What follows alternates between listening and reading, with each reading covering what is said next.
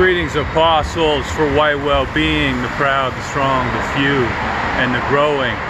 Behind me there is a Jewish memorial here in Bratislava, and I've been seeing lots of Jews come to this memorial. Pause this. Okay, folks, had to catch the bus there, get somewhere a little more private here.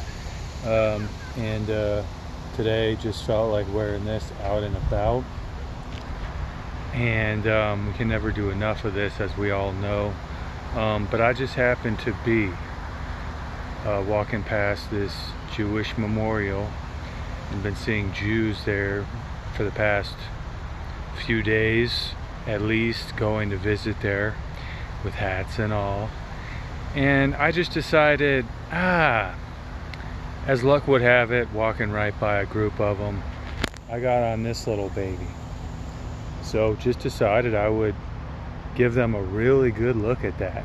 Stopped, said hello, said, hey, just want to let you know that whites aren't going to be K I L L E D, M U R D E R E D, G E N O C I D E D, or erased anymore by your kind or anyone else.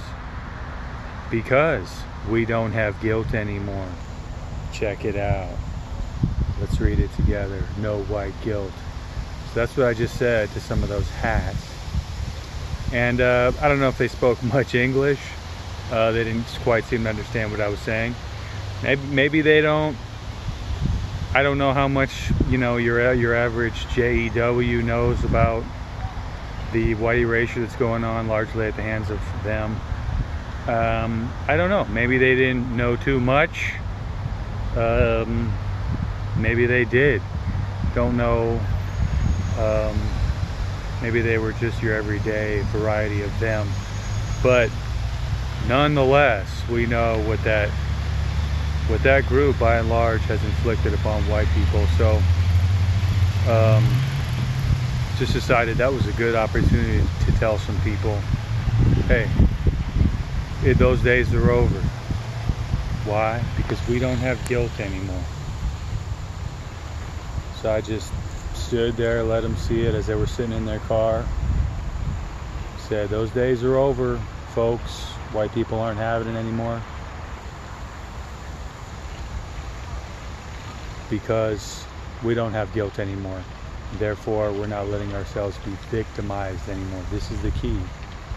Um, and uh, you know so boldness these bold acts are uh, very needed as as I think as you all know. Um, also today took one of Elaine Sabatino's rocks which I haven't done in a while and put it out here at the university. A lot of forest land perfect for it.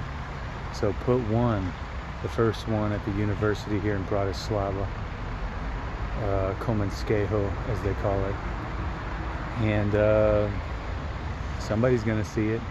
And there are lots of whites. Um, and, uh, and and what I will say it's been a little slow here for me as uh, some of you know. I'm trying to find a plan B not able to study here because of documentation issues.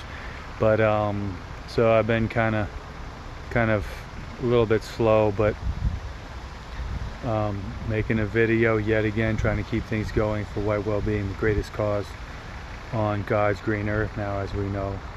Um, and uh, one thing I wanted to point out just the other day I noticed there's a group of darkies straight from Africa that arrived here. So they're coming they're trickling in here folks. In this place I've come to the conclusion is just is going downhill fast. They do still have a mostly white society, but mark my words, it won't be that way in the next couple decades uh, going on this path. They're on a very bad path. They're on a path kind of just like the West, a lot of the same type of trends. Um, girls do not dress properly here. Um, it's not full-blown feminism as like in the West, but it's you know, it's sort of some aspects of that. Um, and uh, the media, as I've said, is, is there's a lot of toxicity in that. And so I've seen more and more of it, and I would say it's going downhill fast here in Slovakia, folks. It is just um, just heading heading uh, too far down that road, in my opinion. And uh, they still have their people, so that's where they still have a chance. But they're on the wrong path right now, and uh, with culture, with losing their traditions, with you know embracing these anti-white ideas like like non-whites are just all cool somehow and should always be welcomed in and you know other anti-white toxins. Those things are here. Some of them are more advanced than others. And the the one thing they do have which is their white population is starting to fade uh, so I'm seeing them trickle in here and that's what happens when a society is weak when they start giving away their traditions their culture and they start the women start dressing very scantily and uh, and all the other toxins of, of media and so forth, anti-whiteism creep in. It takes a little bit, but this will weaken a society enough that hey, when when when the migrants do start flowing in, they're gonna have no defense for it. And I can already see they've got they've got lots of propaganda here. Um, again, not as much as the West, but they do have the propaganda that hey, you know, all colors are beautiful and black is the in fashion thing. I've seen stuff like that uh, around here. So dangerous, dangerous path.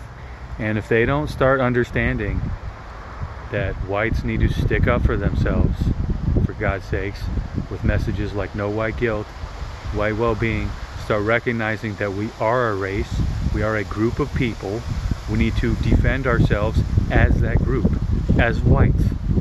So if they don't recognize that here, which they don't seem to be, then it will just keep on eroding and eroding until it's just squalor like it is in in the west. So it's spreading. You know it's it's like the old communism spread. They say well now instead of going east to west it's going west to east.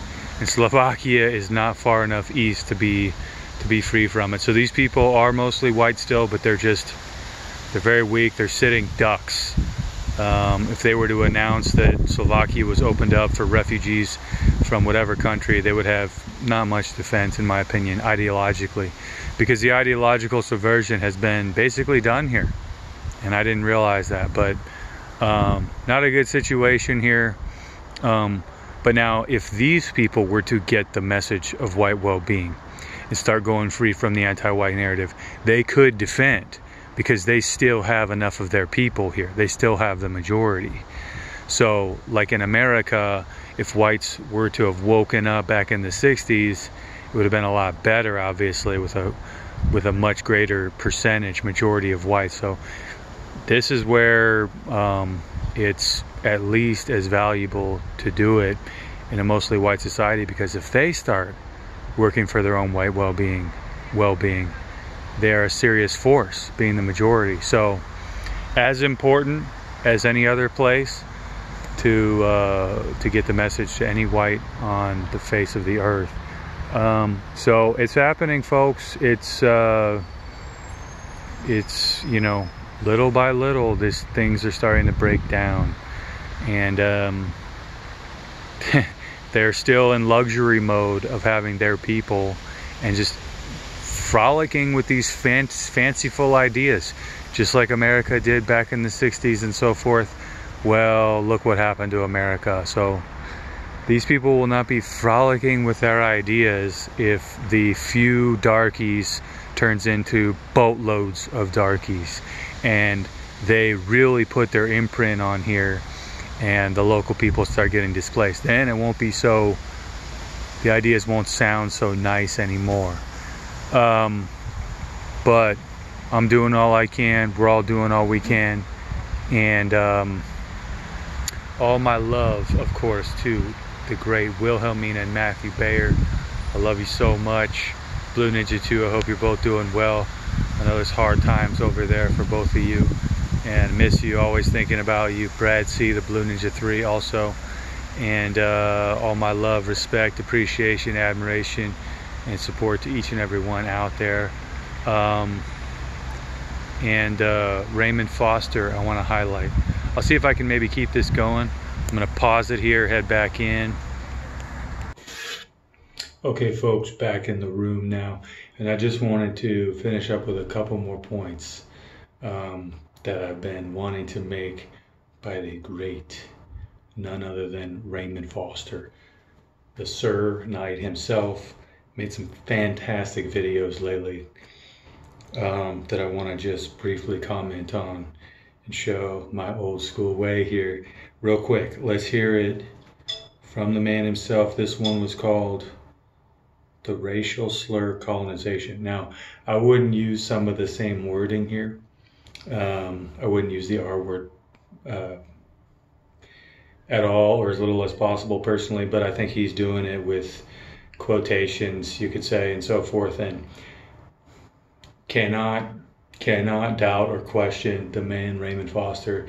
He's undoubtedly doing just leaps and bounds of good for white people, and uh, and he knows what's up. So just thousand percent support to Sir Raymond as always, and uh, he's a juggernaut for our people and having monumental, cannot be overstated, the positive effects he's having for whites and everything he's doing over there. So I wouldn't choose some of the same wording here, but um, but he is pure and true, and he is effective. So not going to question it. Just going to, as always, fully support Raymond, and uh, he handles this fantastically.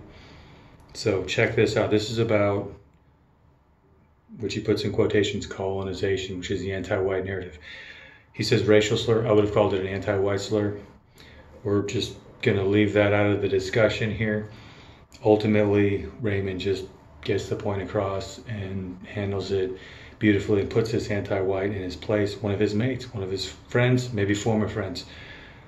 I've lost friends over this stuff, finding out that they're pretty badly anti-white. So sometimes, if they're that anti-white, don't want to change, then you'll see Raymond gives him the ultimatum hey, just stop with the anti whiteism, or we might have to just cut things off as friends. So, this is something that we have to do sometimes. Raymond does it here like a champ, champ of champs.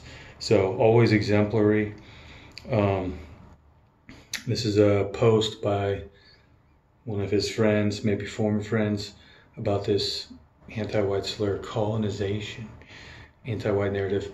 Raymond handles it beautifully. Listen to how he handles it. Silly meme. And it talks about colonization, okay? Any derogatory mention of colonization or colonizers, just so you're aware, is a racial slur against members of Western kind. Alright? So, like the N word for non white people but it's a racial slur for white people. Okay? So this is a disgusting, dehumanizing racial slur, okay, being shared as a meme. And it's not even a joke, it's not even like funny, it's actually just straight up racial discrimination. Open quote colonization has ruined everything, and there's so much we'll never get to experience because of what it's taken from us. Close quote. So again, you replace the word colonization here, it's a racial slur, so it means white people, innocent white people, in a way that dehumanizes them so that you can justify harming them and white erasure. Now, this individual is one of my mates on Facebook at the moment, but he's shared this meme, so I've told him, and again, folk, if you see this, if, if you have a so called friend who shares something like this, who says something like this about colonization or colonizers, alright? Again, this is a racial slur. They're, they're bigots. They're bigots. They're disgusting human beings, alright? For saying something like this, for using colonization in this manner. Alright? Again, to speak ill, to speak derogatory, or in a derogatory manner against colonizers or colonization at all, to not praise it, to say, oh, these are the benefits, the goods that came from it, we're grateful, we have electricity, you know. To speak ill of it in any manner is racial discrimination against members of Western kind.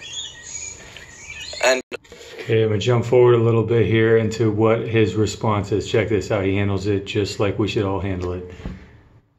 Discrimination. It's disgusting. Racial discrimination is disgusting. Everybody deserves to be respected no matter their background, their race, and that includes white people. So that means you've got to stop using racial slurs like colonization and colonizer. And speaking about colonization in a negative fashion. It's disgusting, bigoted racial discrimination against all members of Western kind. It needs to stop. And if you dare use that language around me, that disgusting racial discrimination. Okay, so I don't know if he had already read his what he wrote there, his comment, or not, but uh, what he said there was something like, uh, "Hey, mate, buddy, um, this anti-whiteism won't stand," or something like that.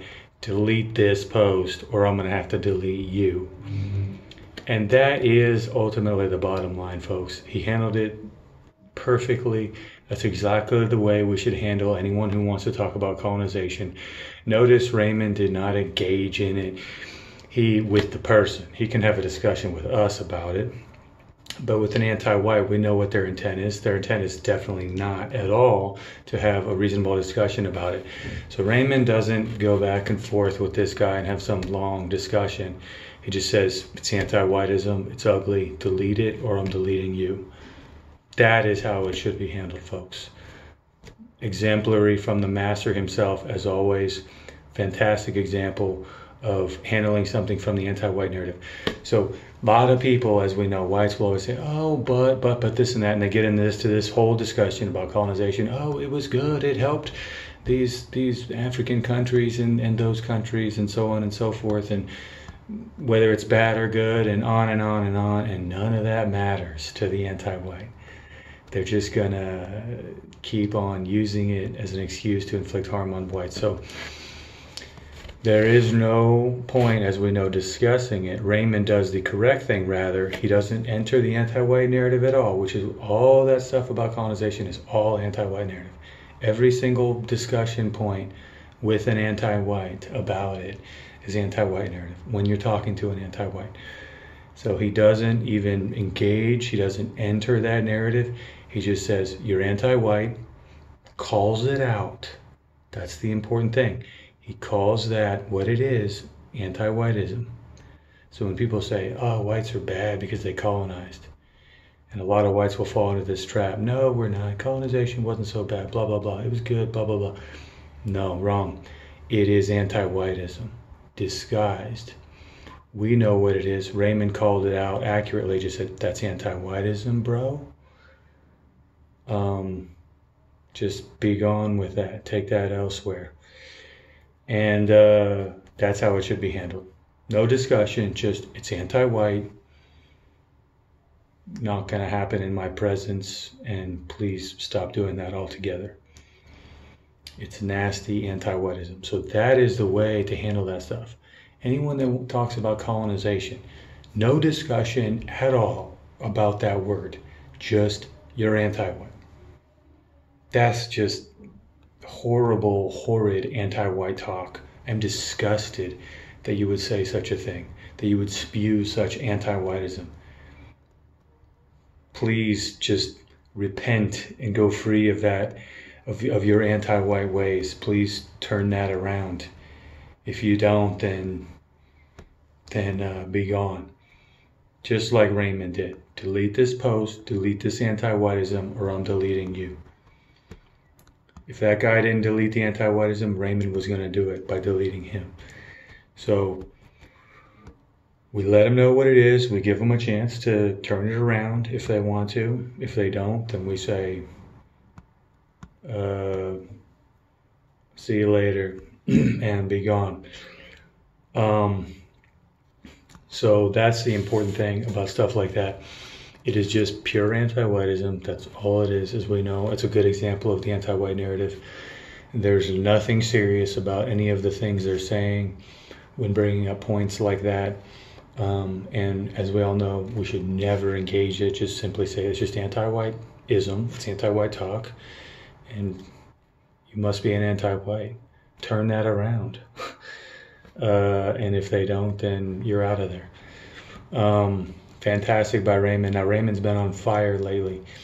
He made another video which I'm I queued up here real quick.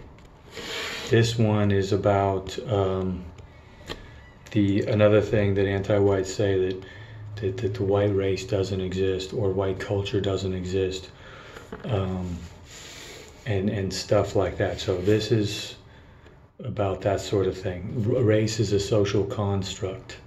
This is an anti-white meme pathogen. Raymond talks about it beautifully here. Let's let's hear a little bit of this.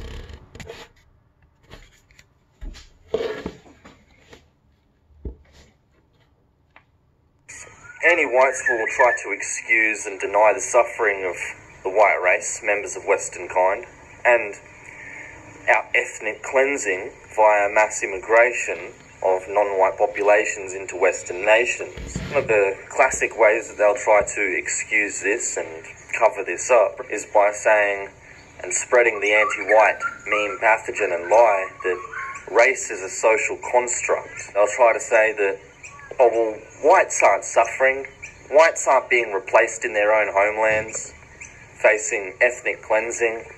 Why? Not because it's not happening.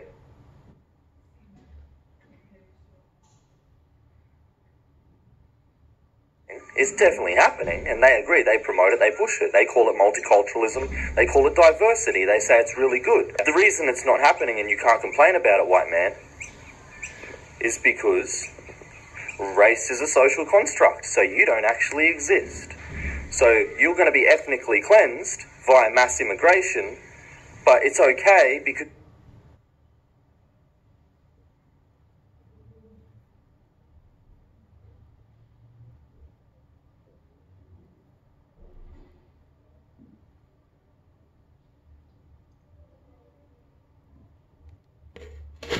Because you don't actually exist. So if you complain, you're going to be called a conspiracy theorist and a racist for just simply speaking about your own people's ethnic cleansing via mass immigration, white erasure, the crime of genocide. So just for speaking about the suffering. Okay, folks, I'd like to show more of that, um, but I'm running low on time. It's going to spill over into a second video here as my uh, as I tend to be lengthy. So basically, my commentary on that uh, is this this whole idea that, that, that anti-whites put out that race is a social construct. This is another version, in my opinion, of race doesn't exist. And all of this type of stuff, when anti-whites say that, they're saying it to who? They're saying it to white people. Now, the purpose of this, as I've talked about before, this is to keep whites in the dark this is to keep fooling white people. This is to keep punking white people. So this this is preventing whites from seeing what's going on, the white erasure, the white genocide, as he puts it um, accurately, and keep whites from defending. Thus, if whites don't see it, they can't defend. So this is just an attempt to say, no, it's it's not really happening white folks. And obviously it is happening, but they're just trying to keep whites from realizing that it's happening.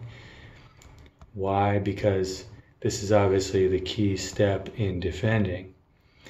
Whites have to realize it's happening.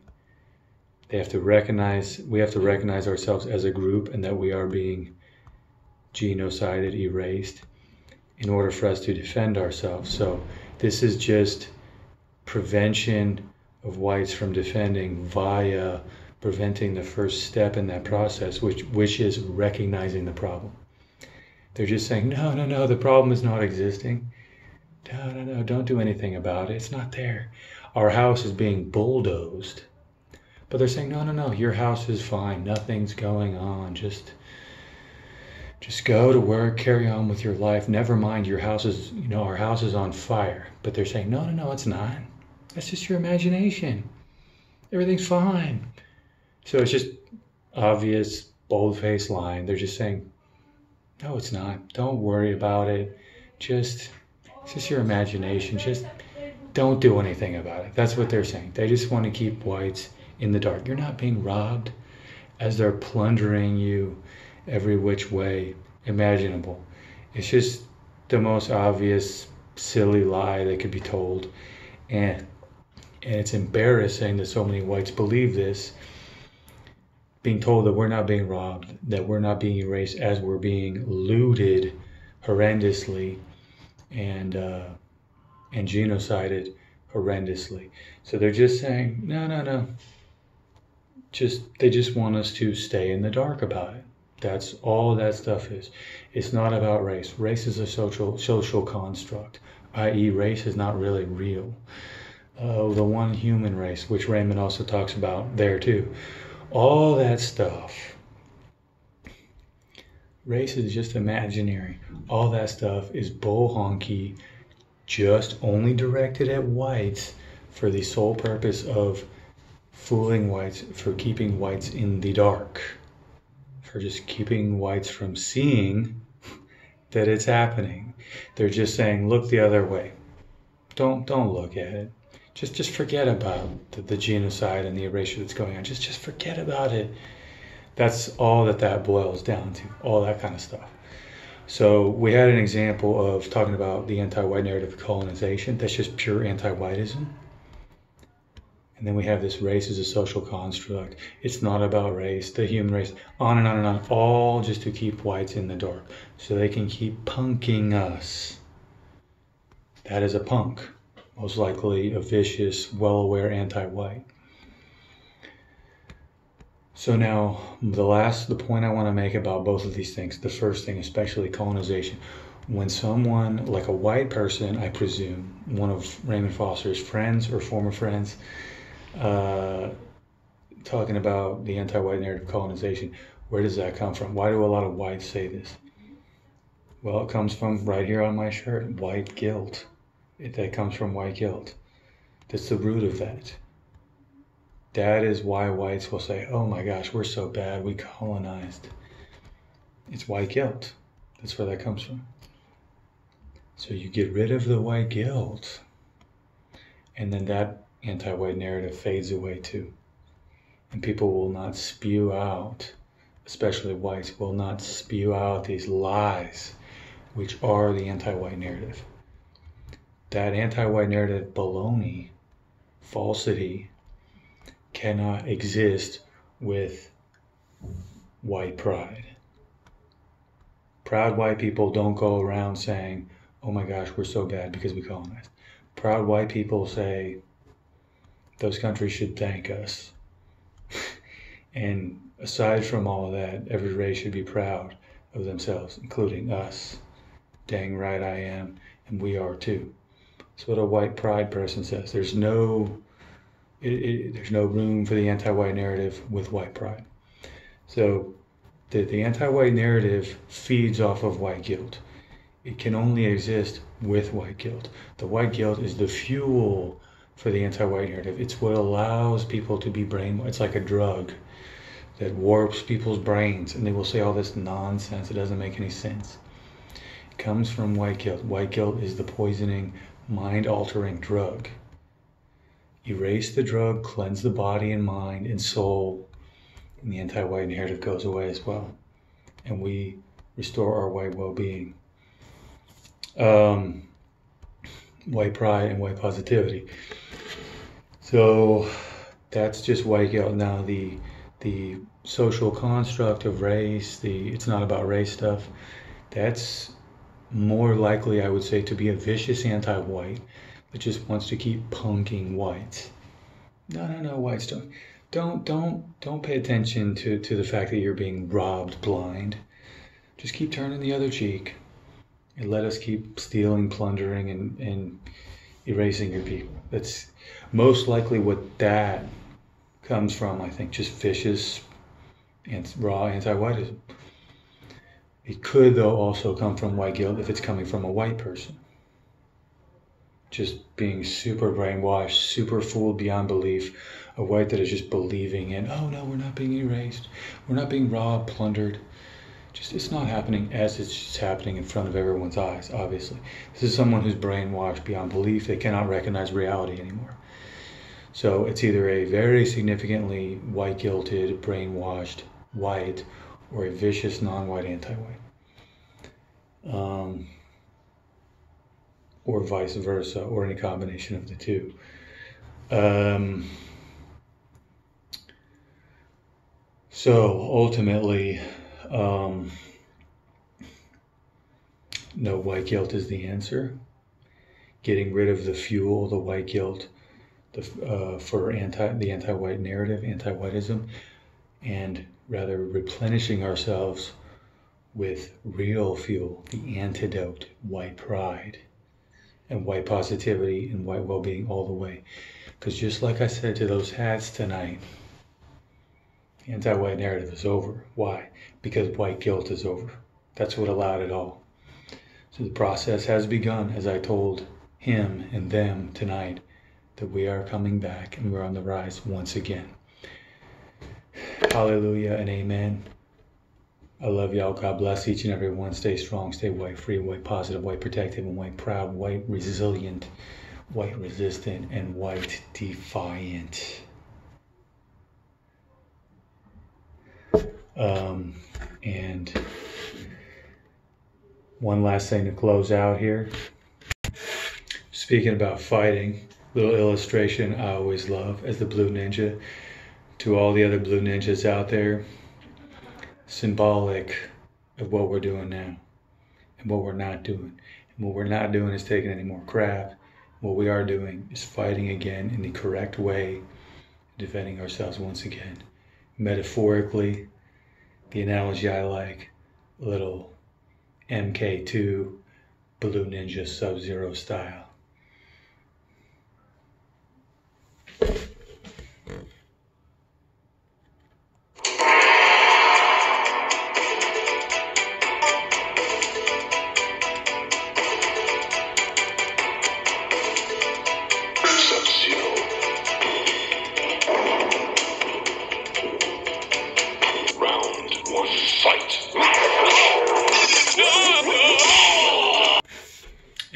Shall have the victory.